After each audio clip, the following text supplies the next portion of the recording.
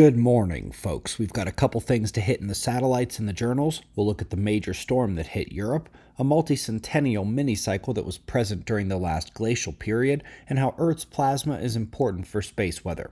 But we're starting with the last 24 hours on our star, and there are two items of note. The incoming coronal hole will face Earth today, and the large plasma filament on the north has erupted. You can see that happening here. It was a partial eruption and partial collapse with peripheral filaments destabilizing as well, a large scale eruptive moment on the sun, and it is very likely that this one produced a CME that will deliver a glancing blow to Earth. We can see that eruption on SOHO LASCO coronagraphs as well, and it appears almost as a halo event, and the chances are good that part of the eruption is heading our way, expected to arrive between Sunday and Monday night and produce minor geomagnetic storms. The sunspot situation will be monitored as well, fairly concentrated to the southern hemisphere. It should be noted that the few M class solar flares we've had in the last few days have all come from the incoming group just cresting the limb. Definitely complex, with multiple sunspot umbra. We'll be watching that too.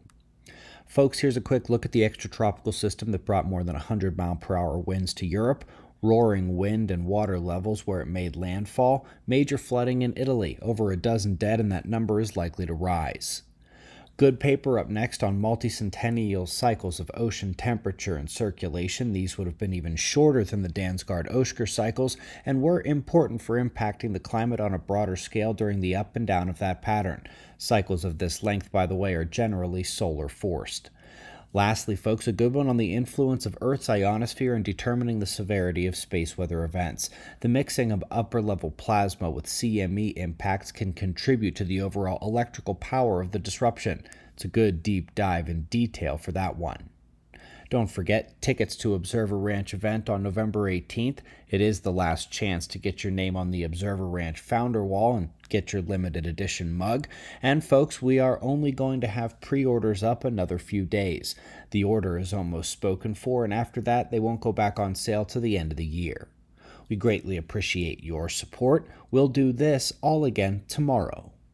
Right here, but right now at 6 a.m. in the new Valley of the Sun eyes open, no fear.